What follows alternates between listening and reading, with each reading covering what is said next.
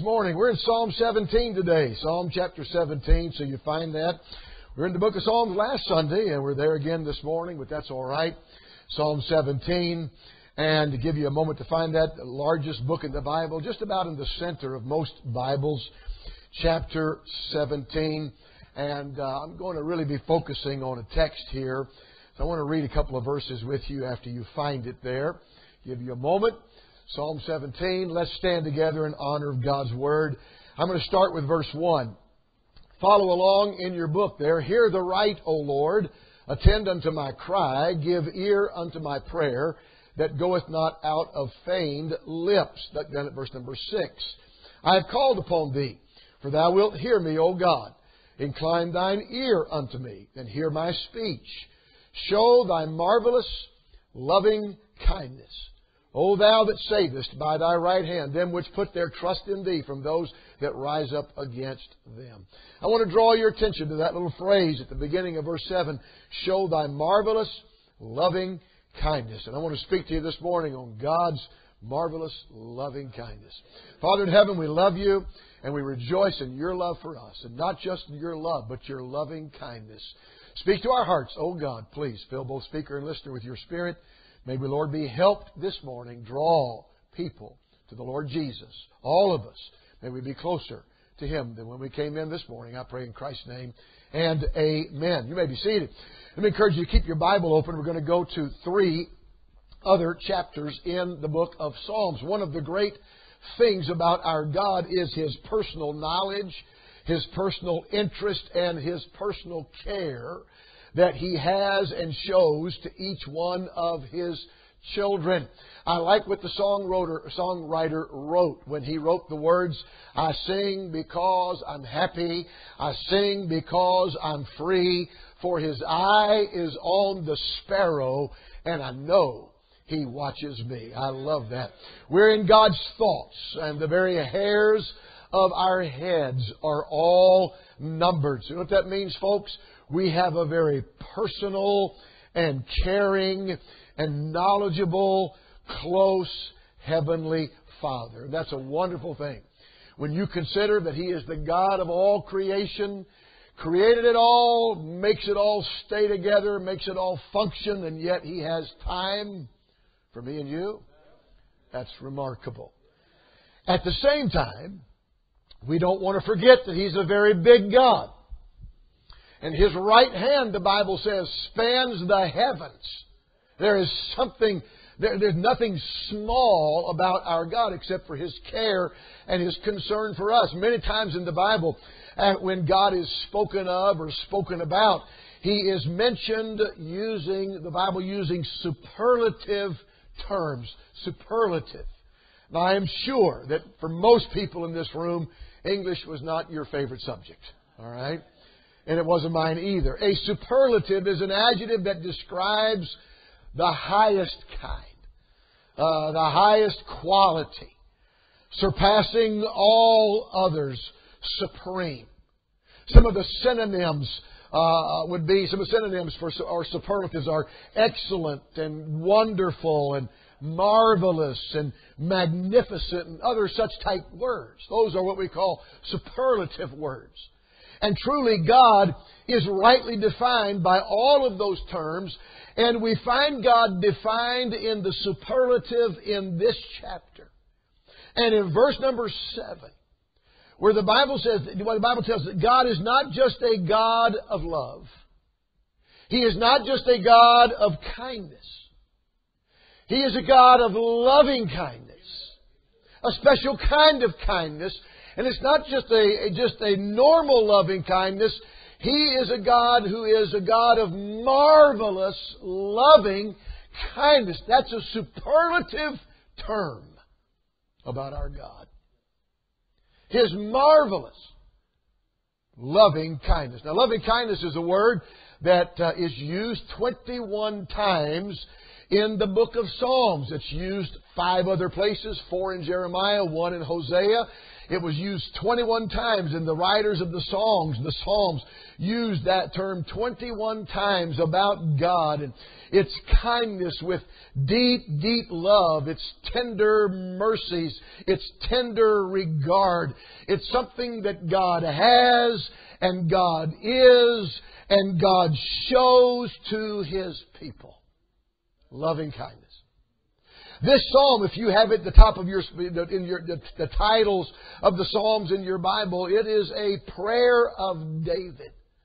So it was probably prayed during the time when Saul was chasing David. He refers to his enemies and those that would uh, do him harm. So probably that time in David's life when he was being chased by his enemies. You look at verse number six, he says, I have called upon thee, for thou wilt hear me, O God. Incline thine ear unto me and hear my speech. So he was in one of those times in his life when he had great confidence in his prayers. Great confidence that God would hear and answer his prayers. Let me just, this is not the message this morning, but let me come aside to say this, folks. There were other times in David's life when he did not have such confidence. On more than one time, more than one occasion, David wrote, Be not silent to me, O God. He wasn't sure if his prayers were being heard or not. So, what's your point, Pastor? My point is this there's no difference in you and me and David. We're human beings, we're not robots. We're not mechanically operated. Sometimes we pray with great confidence, knowing, feeling that God is listening, God is hearing, and God is going to answer. And I've got a tug on the other end of the line, and there's somebody listening to my prayer. And there's other times that we pray when we do not, we do not, uh, we don't feel that confidence. But you know what the key is, folks? The key is to just keep on praying. Just keep on praying. Pray till the light breaks through. And David's praying here with great confidence in, the, in his prayer life. And in verse number seven, David asks God, you, show, you see it there. David asked God to show me, Lord, show me your marvelous, loving kindness. And folks, God is able to show His marvelous loving kindness because He is marvelously loving kind. That's what He is. God is that kind of God. Now I want to say several things about God this morning as it applies to His loving kindness. Because God is marvelously loving, has this marvelous loving kindness. I want to say number one, that we can trust Him. We can trust Him. Turn in your Bible to chapter 36. We're in the book of Psalms chapter 36 to another psalm written by David. Psalms, if you're getting familiar with your Bible, psalms are songs songs. That's what the word psalm mean, means. So David was a songwriter.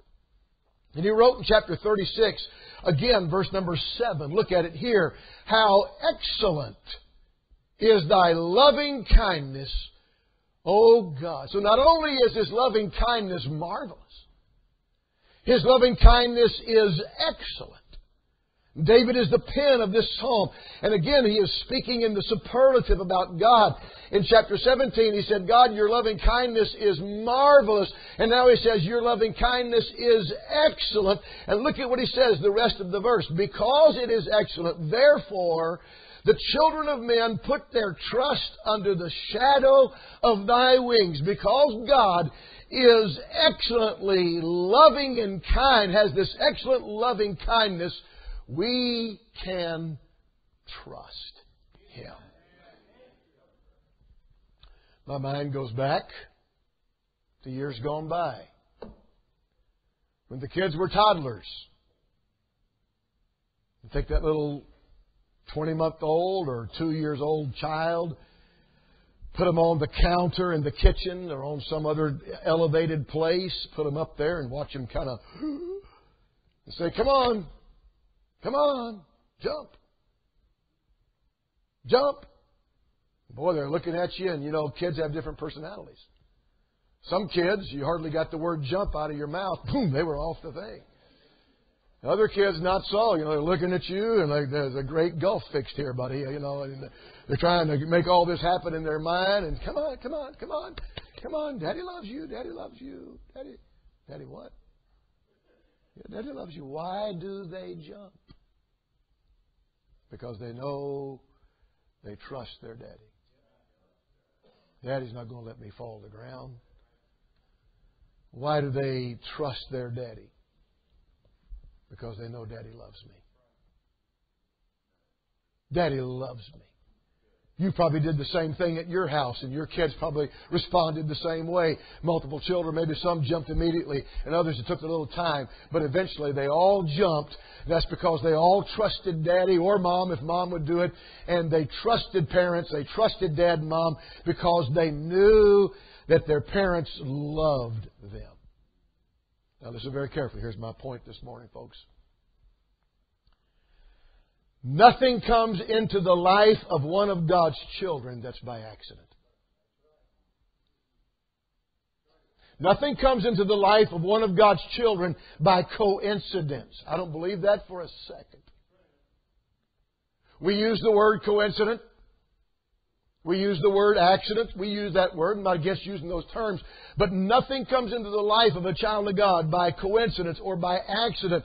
God allows circumstances and God allows situations to come into our lives that are unpleasant and uncomfortable.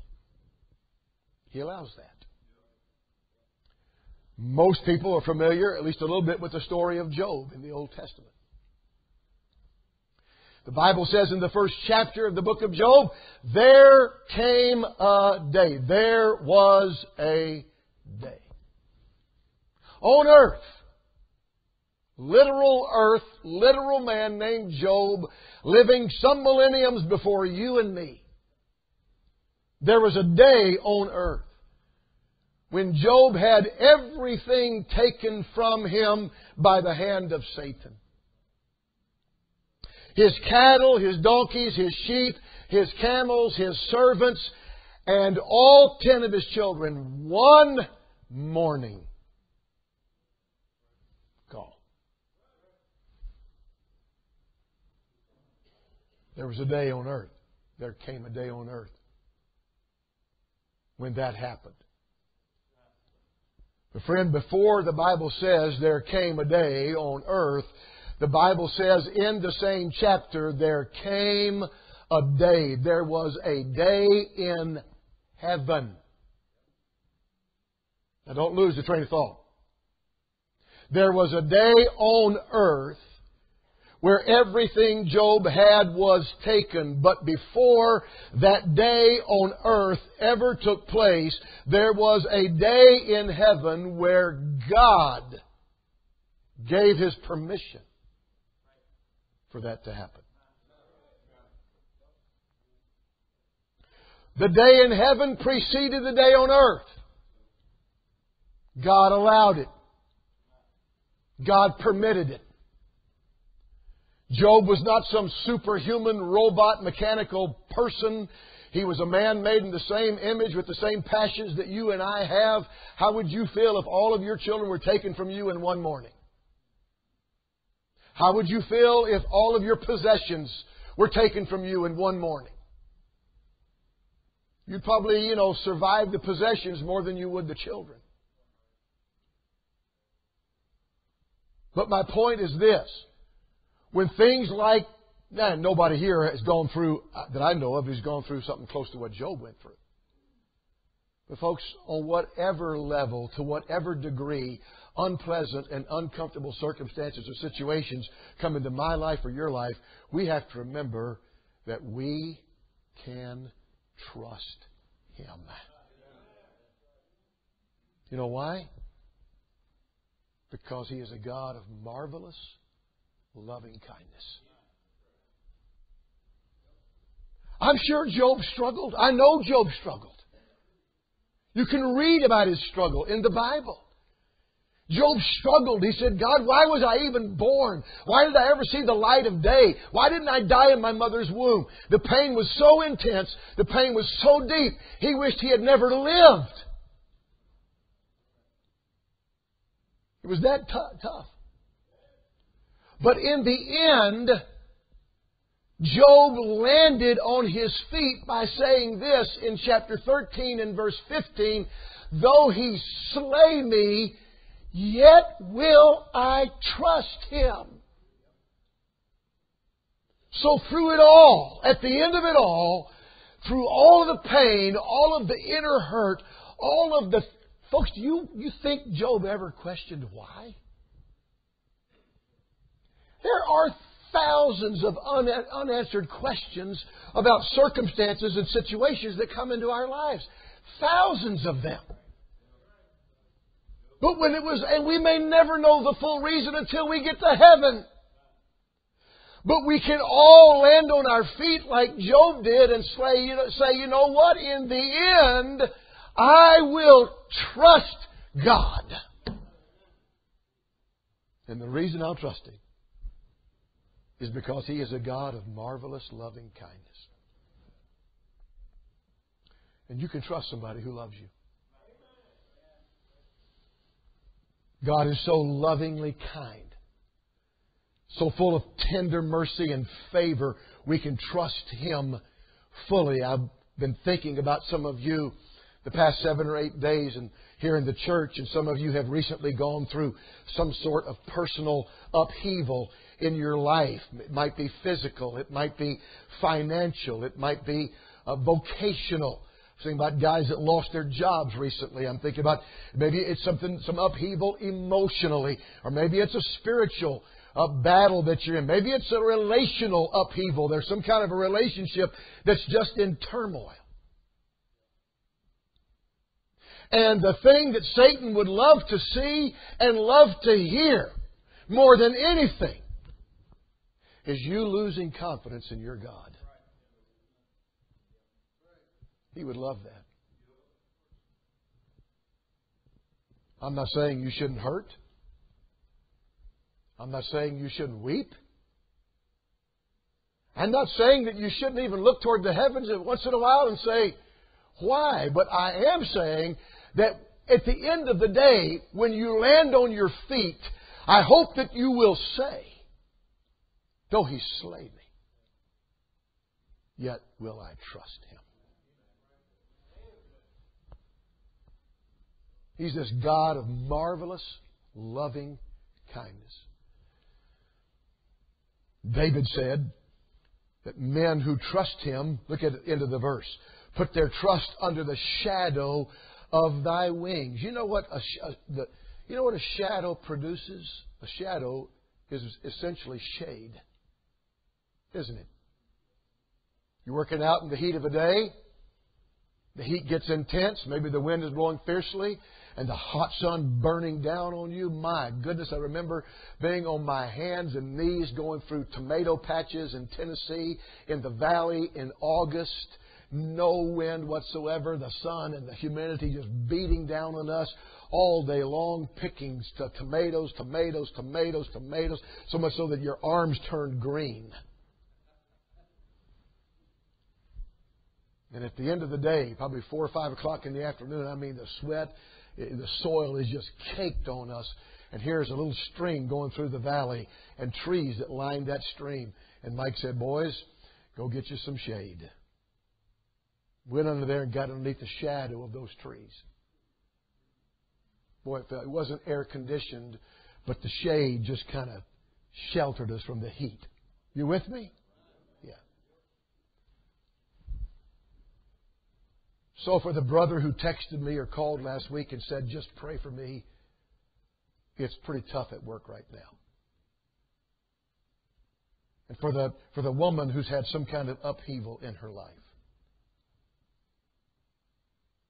there's a little bit of relief from the intensity of the heat in the shade of the shadow of his wings. Don't you run from Him. Run to Him. Because He's a God of marvelous loving kindness, we can trust Him. I love the song once in a while. I think the Bragtree, Brother Mike, maybe you and your sister and wife sing this once in a while. You get that in the right order. You and your wife and your sister. Amen. Get that in the right order. You sing the song, I can trust Jesus. I can trust Jesus. He never once has failed to meet my need.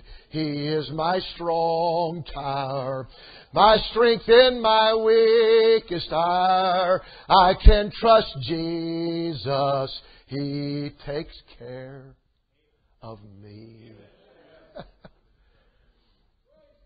when are you going to ask me to join your court? Amen. Amen. Marvelous loving kindness. And because He is, you can trust Him. But There's a second thing we find. Look to Psalm 119. Psalm 119. Turn a few pages over to your right. Psalm 119. And look at verse number 149 with me here in that long chapter. Because of His loving kindness, we can trust Him. Because of His loving kindness, we can talk to Him. I love this. Psalm 119, 149. Here's what the psalmist wrote. David is not the pen we don't think of this particular psalm, but still, it's in the song book called Psalms. 119, 149. Hear my voice according unto thy loving kindness. So the psalmist said, Hear me, God. And the reason I'm asking you to hear me is because of your loving kindness. Father, I need to talk to you. You know, people, it's a great relationship when your child will come to you and say, Dad or Mom, can we talk? That's a great relationship, isn't it? And kids have to be trained and coerced and brought to that place. Sometimes it's awkward for them, you know, and sometimes because a dad has an especially uh, explosive temper. Uh, maybe he's unapproachable. Maybe he's an unreasonable man. And kids are very reluctant to go talk to their dad. They're actually afraid of talking to him because they don't know what to expect. You know, I, man, I wasn't the perfect father. I was far from it. I got to confess that there were some times when the kids came to talk to me and I, I, I lost my cool. I never smacked anybody. Wanted to a couple times. But never hit anybody. I look back on that, even then, you know, when it was all said and done, I just, I, reg- you know what I thought about this week when I put the sermon together was that deer deer camp at the deer hunting. We won't even go into that. This, it's, it's amazing this kid ever talked to me again. I lost my cool. Crazy. My wife never did. To this day, those kids talk to her. They talk to me, but they talk to her. They always look forward to talking to Joyce. Always. David, the psalmist, wanted to talk to God. Thank the Lord. Our Heavenly Father is not an unreasonable father. He does not have an explosive temper. He is not an unapproachable being. He is very reasonable. He is very approachable. And you know why, folks? Because of his loving kindness. Because of his loving kindness. In fact, it's God's loving kindness that the psalmist appeals to when he prays. Look at the wording of verse number 149. You got a Bible, look at it. Hear my voice according unto thy loving kindness. You know what the psalmist is not doing? He is not approaching God saying, Lord, I, I need to talk to you and listen, uh, please hear me because you know how good I've been. And you know how faithful I am. And you know how much I serve. And you know how much I sing. And you know how much I give. And so, Lord, because of all the things that I've kind of piled up around me that are real good, would you please listen? To, he didn't go to God based on his own merit. He went to God asking God to hear him because God's a marvelously, lovingly kind God. Can I give you a little advice, friend? When you need to talk to God and ask Him for a favor, uh, don't go to Him with a list of, look what I've done. Because what that's saying is, God, you should listen to me based on who I am, what I've been, what I've done. Well, guess what? In some cases, we wouldn't even begin to pray, would we?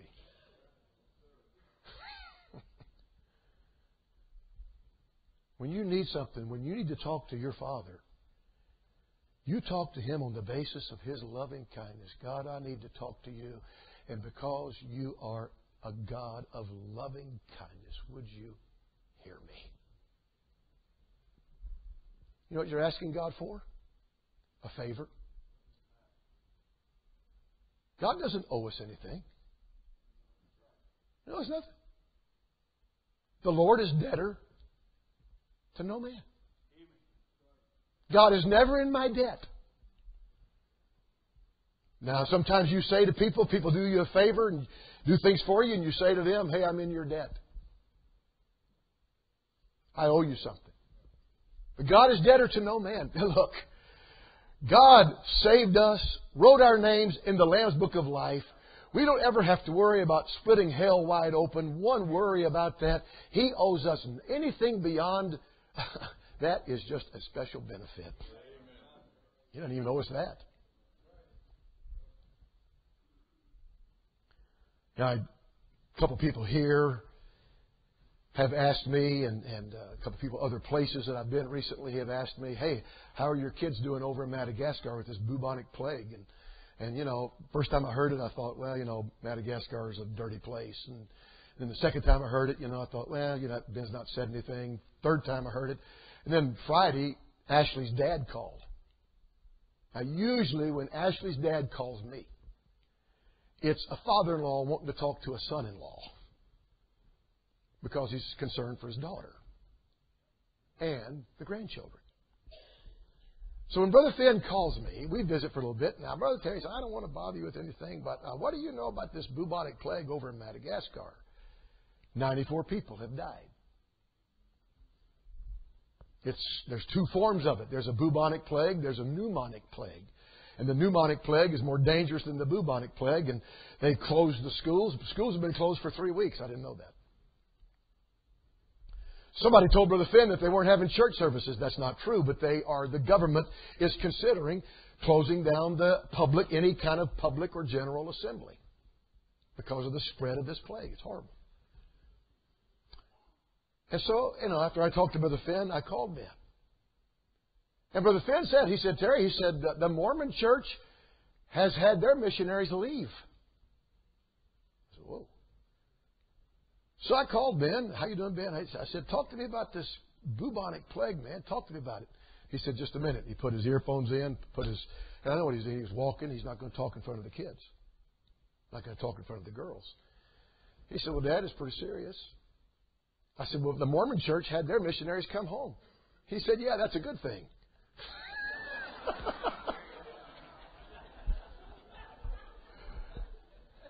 the eternal optimist. I said, I appreciate that, son. really, you know, if you get it, uh, hey, but if Ashley and the girls get it, and if those girls get it, Papa's concerned. And I'm concerned for all of them.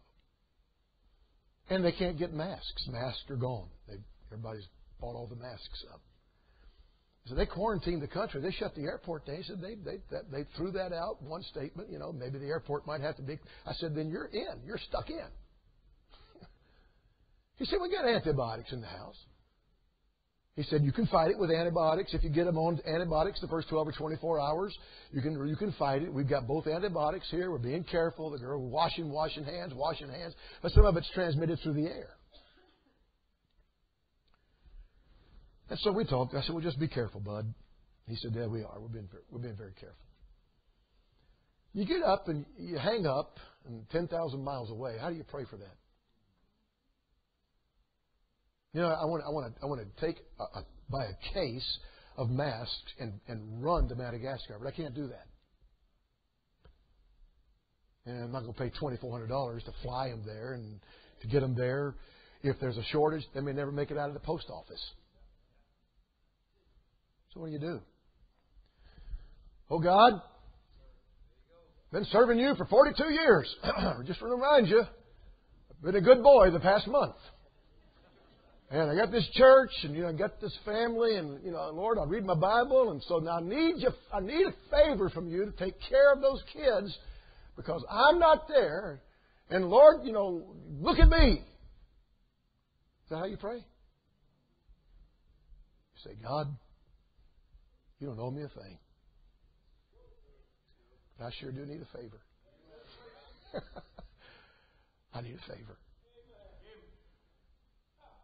And because, because you're a God of marvelous, loving kindness, would you watch after those kids?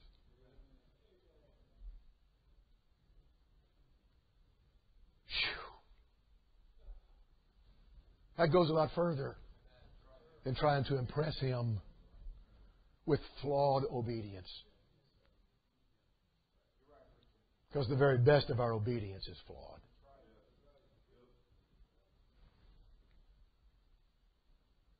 I take Joyce out for a meal together. I put my cell phone on silent. And I don't refer to it and if it starts buzzing, it, only if it's one of the kids. And she knows that and doesn't bother. And why would I why would I carry my cell phone, put it on silent, and ignore everything else except for one of the kids? Because I'm their father. And I love them.